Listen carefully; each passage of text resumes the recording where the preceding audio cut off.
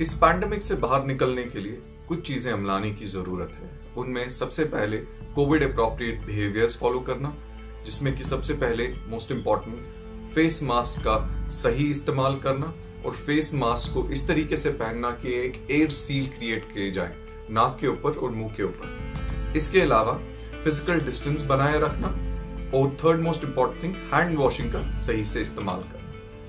और इसके अलावा जो सबसे इम्पोर्टेंट चीज़ इस वक्त फॉलो करने की ज़रूरत है, वो है वैक्सीनेशन एक दूसरे को एनकरेज करिए और सामने आए और वैक्सीनेट करवाइए. जो तीसरी मोस्ट इंपॉर्टेंट चीज़ हमें आजकल अपनाने की ज़रूरत है, वो है एक दूसरे को सपोर्ट करना.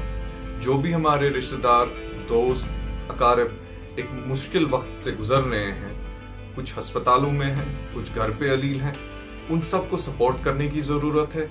जिस भी तरीके से आप सपोर्ट कर सकते हैं, उन्हें सपोर्ट करिए। Let us stay resilient and let us support each other thank you